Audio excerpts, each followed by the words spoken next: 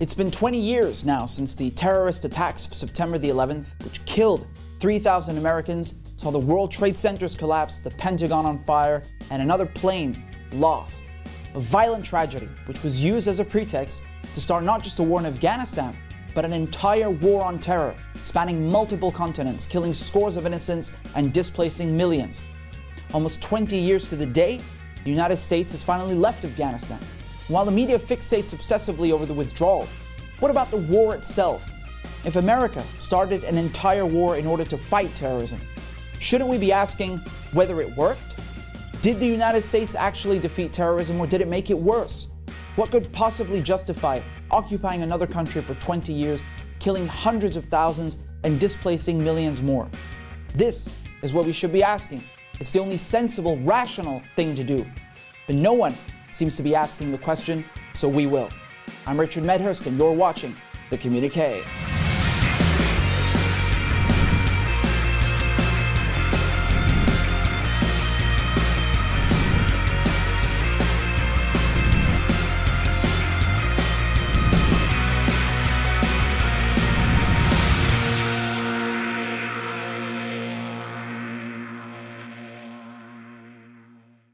It's been 20 years now since the attacks of September the 11th, tragic event that left 3,000 Americans dead and the world in shock.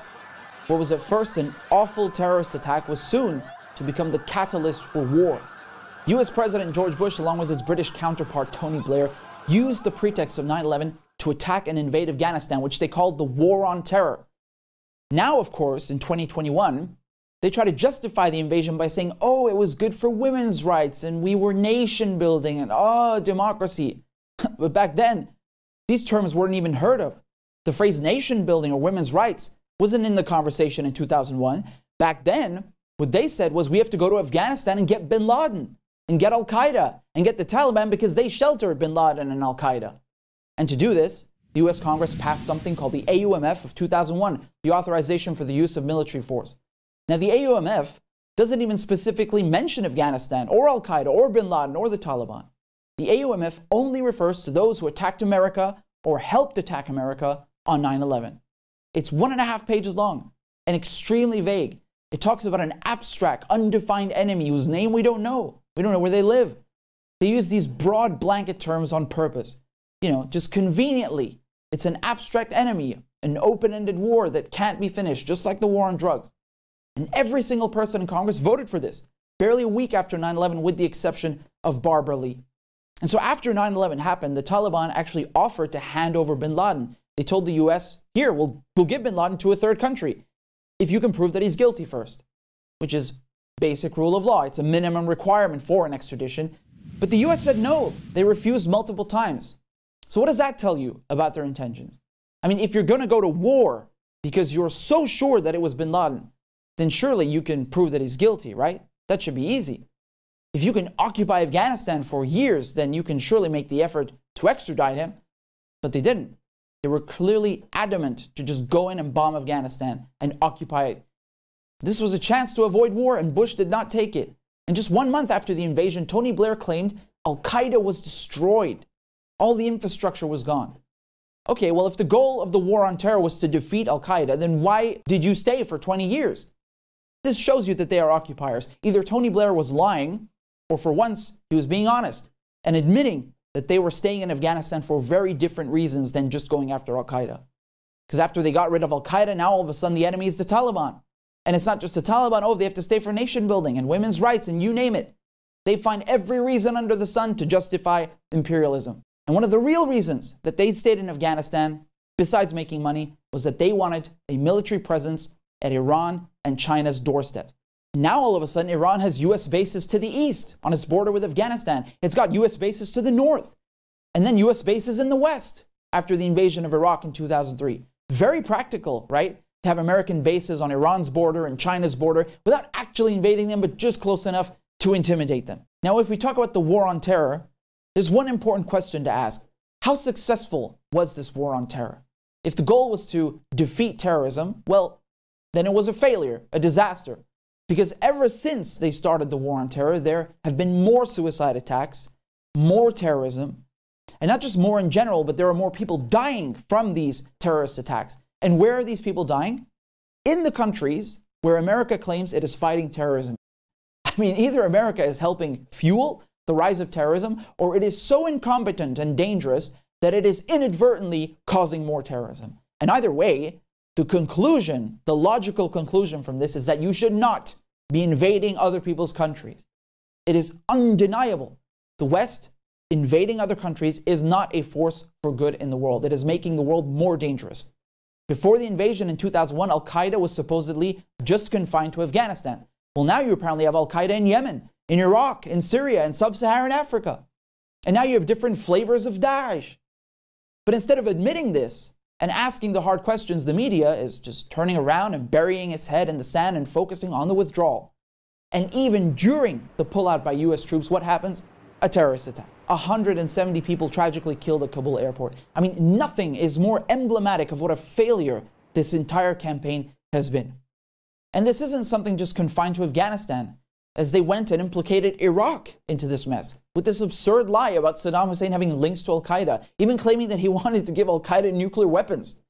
So, after they invaded Afghanistan under this pretext of fighting terrorism, then they invaded Iraq, even though both these countries had nothing to do with 9 11. All that was necessary was to seemingly claim a link to Al Qaeda. That's all they had to do. And that's why the AUMF has been used in at least 19 countries to bomb 19 countries. And this hasn't just happened under Bush, this is something that has been pursued by every president. Obama massively expanded the US drone strike program. Under Trump, airstrikes increased by 432%. Just this month, a drone strike ordered by President Biden killed an entire family in Afghanistan. And now you have all these people dying from terrorism, from new variants of Al Qaeda, of Daesh, all these attacks on the rise. And those, those people who weren't killed by the terrorists were killed by the Americans, by the coalition of the willing, by state terrorism. And if you look at Afghanistan, 50,000 dead. And that's a conservative estimate. Pakistan, where the war spilled over to, lost masses of people because of US drone strikes. And then the figure is really in the hundreds of thousands. But it doesn't end there. One million Iraqis dead, not to mention the millions of refugees, half of Syria's population displaced. You know, 3,000 people died on 9 11. How many 9 11s has Afghanistan had? How many 9 11s has Iraq had? How many 9 11s have Pakistan, Syria, Somalia, Yemen, Libya? How many have they had? Or are you going to come here and tell me that 3,000 Americans are worth more than millions of Arabs and Muslims? Are you telling me that it's okay to kill millions of Muslims and Arabs to avenge 3,000 Americans? Without a doubt, the real victims of the war on terror are surely those whose countries were invaded. Joining me is British political activist Chris Nineham. He is a founding member of the Stop the War Coalition, an advocacy group for peace and against interventionism. Chris was one of the organizers of the protest on 15th of February 2003 where masses of people poured into the streets voicing their opposition against the invasion of Iraq. It has been claimed as the largest public demonstration in British history. He also served under former Labour Party leader Jeremy Corbyn.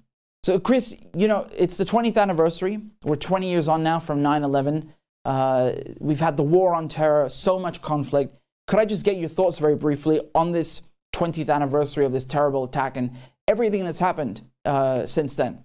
I think both the attack itself uh, which was a tragedy, and the um, the response from the West have been uh, absolutely catastrophic. I mean, the world has changed in the last twenty years uh, very, very profoundly.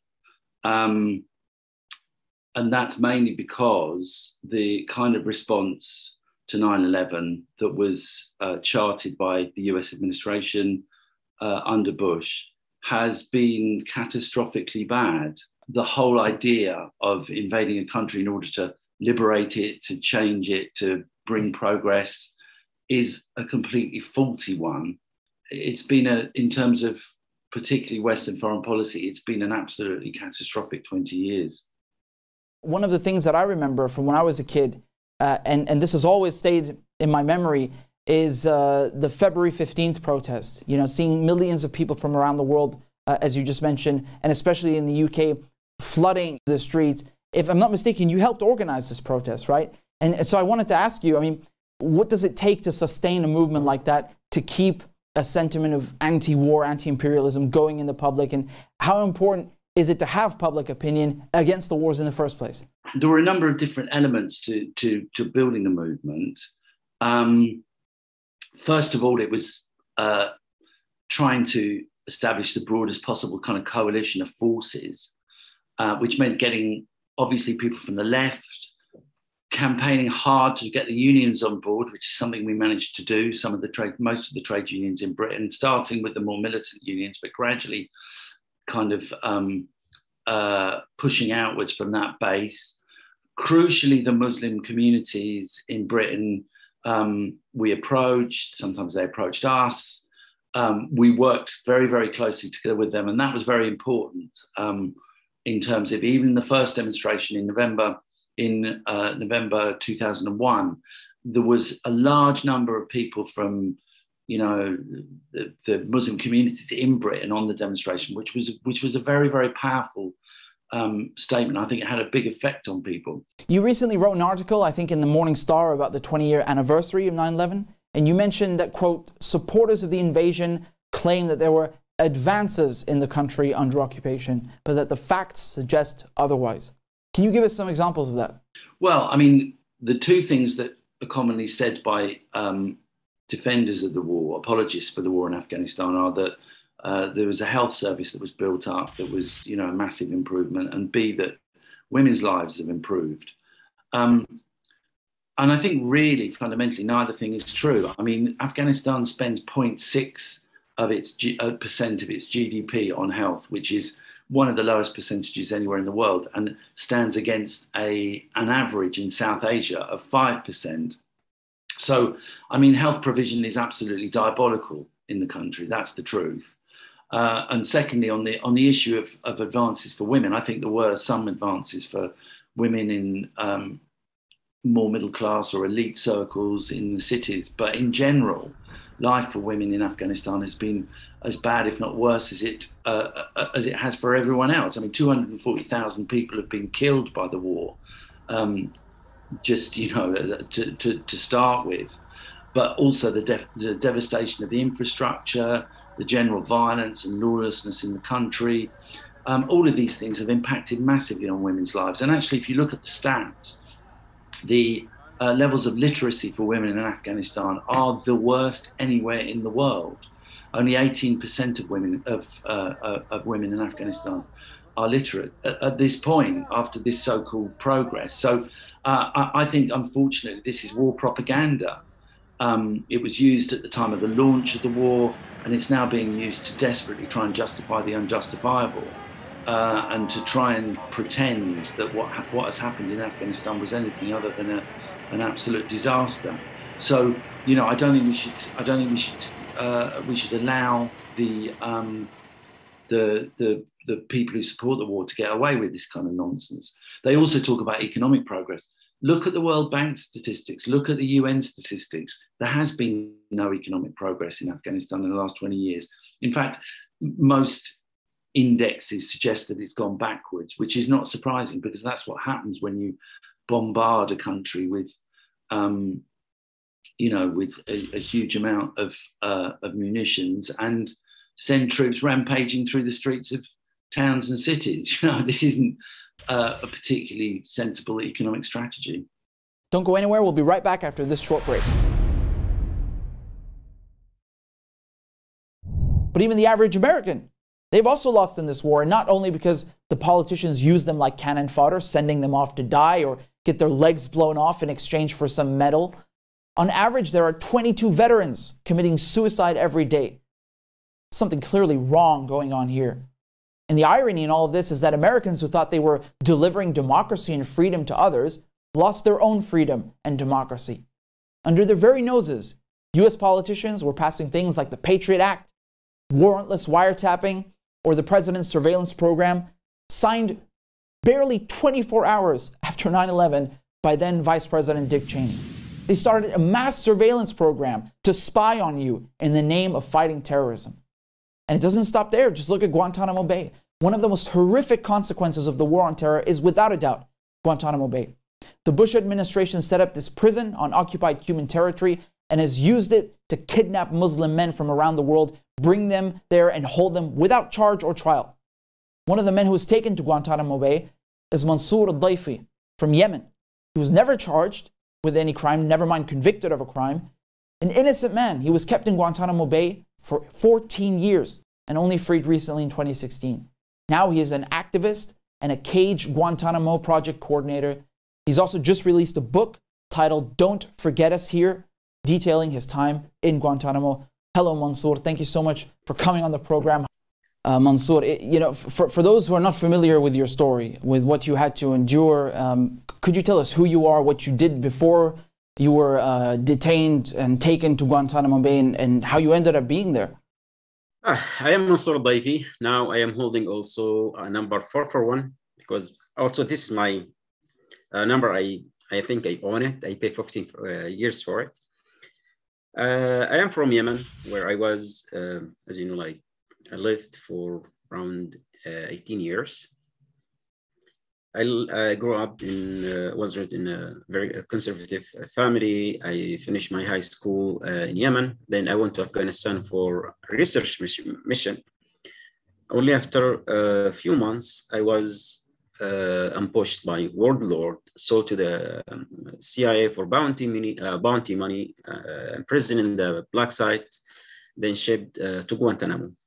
So a warlord just wanted some money from the CIA as you know, when when when uh, America invaded uh, Afghanistan in 2001, they were throwing flyers offering large bounty of money for anyone who who hand, hand over foreigners or Afghanis. So according to the ACLU, that 86% of the 20s at Guantanamo were either mistaken identity or sold for bounty. People think that people Guantanamo they were captured in the battlefield. No, that wasn't the case. That wasn't the case. Now only the research proved that only 88%, 8% who has ties to Al Qaeda or Taliban. Right. So that, that's out of several hundred, right? Out of 800. I mean, United States wanted to send a wanted, wanted to send a message to, to the world. They can go beyond any laws. They won't they won't abide by any law or uh, uh, uh, agreements. So they created Guantanamo outside of the law, a baseless legal uh, place also, at the same time, it, it, Guantanamo is a military prison within a, a, military base. It's like a black hole. So they said federal law doesn't apply in Guantanamo. Uh, Cuban law doesn't apply. Geneva Convention doesn't, doesn't apply. So it's outside uh, of the law. So they can do whatever they want. There is no account. There was there is no accountability for what happened there. The youngest detainee was only a few months old. The oldest was 105 years old to that extent. What's the the one common denominator between everyone who's detained there? You're you're just Muslim. Yeah, I mean, yes. Like all of us were Muslims. Like as I told you, 50 nationalities, uh, 20 years spoken. All of us were Muslims. At that time, General uh, Geoffrey Miller arrived, and he started uh, developing what they called enhanced interrogation technique or enhanced torture technique. Torture. Yeah. So they started like applying uh, sleep deprivation, beating, loud music, raping, sexual assault, uh, solitary confinement, uh, all kind of methods. Because they, the, the, they used to take the Holy Quran, put it on their feet, pee on it, uh, throw what? it on the, the ground. Yeah, the interrogators, yes. Stopping us from praying, mocking us. I remember when I, when I used to pray, they would, uh, they would throw us uh, Israeli flag or the American flag. Sometime there was like we call it the satanic room where they like they have a room and dark room where they put candles and the floor is like uh, satanic, uh, stars and signs. What? It, it, it like as it is crazy. I told you guantanamo was an experimenting lab. So let us finish the story when james yee tried to protest and tried to protest the torture in the in the detention himself was accused of espionage, was accused of uh, sympathy with detainees. He was detained, he was detained, arrested and detained and interrogated. He was put in the orange jumpsuit and shackles and hooded and a fly back to the United States. This is American Muslim, not anyone. Captain in the American in the American army. To the extent, imagine if they have done this with their own soldier, the one who came to serve his own country. What about us? They view us the worst of the worst terrorists they, they view us as like who people who are responsible for 9-11. So when General Miller arrived in 2003, when they found out the majority of the detainees, they have no ties with Al-Qaeda.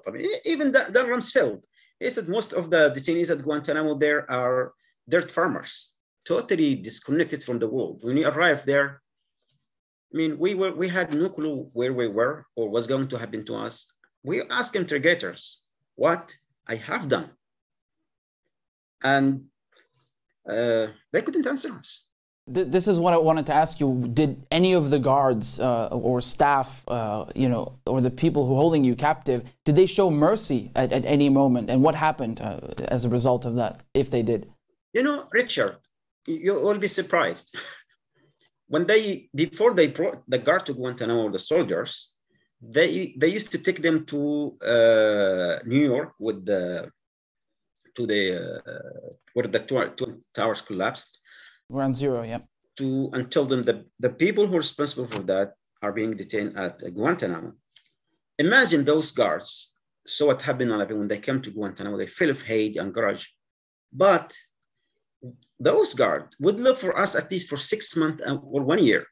So you cannot fool them all the time. You know, in, in, the military, they try to program their mind to control them, to feed them with and some of them honestly came to apologize to us. Some of them actually convert to Islam. Last night we had an event, one of the two former Guantanamo guards, both of them convert to Islam, alhamdulillah. And the other many stories.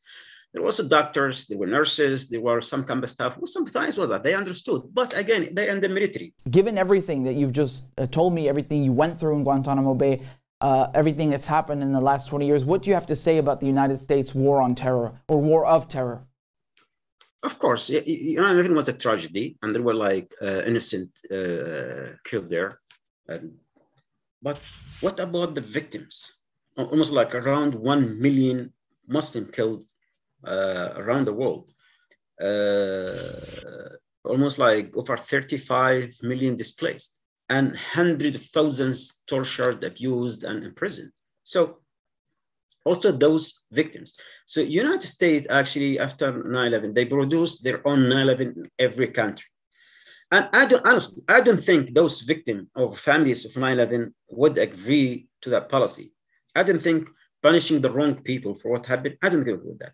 Because, you know, vengeance in the wrong places I don't think they they would allow even uh, the misuse of, of that tragedy to to uh, to go to the extent. But what we have seen, as, as you know, uh, uh, it, it just who benefit from that war on terror? Agencies, countries, uh, individuals. Mansour Adayfi, thank you so much for your time. Really, I'm so grateful. Stories like Mansour's are the important ones. They're the ones America doesn't want the world to hear, and indeed, the most heartbreaking ones. And not a single US official has ever been prosecuted for any of these wars and war crimes in the last 20th century. What was this all for? The US even spent 20 years saying it's fighting the Taliban. The Taliban are right back in power now, almost 20 years to the day. And in their interim government, we even find Guantanamo Bay ex detainees. One minister even has a bounty on his head. All this time, the West has been saying it's fighting terrorism and killing terrorists, but they've actually just been killing civilians. The real terrorists were never caught, or prosecuted or killed. The real terrorists were in Washington, D.C., the terrorists were in Whitehall planning the wars. 20 years, and what did they accomplish? What did this war on terror accomplish? So many people dead, so many people wounded, so many refugees. Who mourns for those victims? I ask you, where is the mourning and the grieving process for them? 9 11 was used as a pretext by corrupt politicians and corporatists to expand their empire and their profits. So, yes, absolutely, mourn the 3,000 Americans, but mourn the others too, those that were killed and forgotten, those that are being killed right now, that are maimed right now, that are living under military occupation right now. The Arab and Muslim world has not even begun to recover from the fallout of 9 11 and America's response. This tragedy on 9 11 has been exploited to carry out some of the worst atrocities and war crimes and acts of terrorism because invading others and killing them, that's terrorism. That is true terrorism. And that's what we've been living through, that's what we've been seeing, and it's still going to continue if people don't wake up and see the truth. That the war on terror has always been the war of terror. Thanks for tuning in. I'm Richard Medhurst, and this is the communique.